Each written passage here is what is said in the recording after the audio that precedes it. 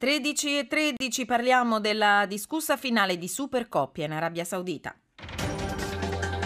Contro il match tra Juve e Milan che si giocherà nel pomeriggio a Jeddah in un paese che viola i diritti umani, oggi davanti all'ambasciata dell'Arabia Saudita a Roma si è svolta una manifestazione di Amnesty International, Federazione della Stampa, Unione Italiana Sport per tutti e altre associazioni. Sentiamo. I diritti violati hanno nome e cognome del blogger arrestato e frustato, delle donne imprigionate e segregate e il volto esposto dai manifestanti nella copertina del Times di Khashoggi, il giornalista assassinato. Per loro la stampa italiana oggi scende in piazza. Beppe Giulietti, presidente FNSI. Questo è un pallone insanguinato in un paese che ha imbavagliato ogni voce libera. Decine di giornalisti in galera, Khashoggi è stato massacrato in Turchia. I diritti civili non sono una merce contrattabile. Presente anche il mondo del volontariato e dell'associazionismo sportivo. Ivano Maiorella, WISP. Sport sociale è per tutti e lo sport, tutto lo sport sono i diritti. Non c'è un piano inclinato per cui lo sport va portato come se fosse un circo in giro a legittimare regimi opachi, ambigui o dittatoriali. E la responsabilità di questa scelta, incalza Riccardo Nuri, Amnesty International, è tutta italiana. Questa è una partita italiana, si deve giocare a Roma. Se si gioca a Jeddah è perché la Lega Calcio calcio ha accettato 7 milioni di euro ed è una decisione di marketing, senza alcuna riflessione dal punto di vista etico. Dall'ambasciata dell'Arabia Saudita a Roma, Arianna Voto, GR1.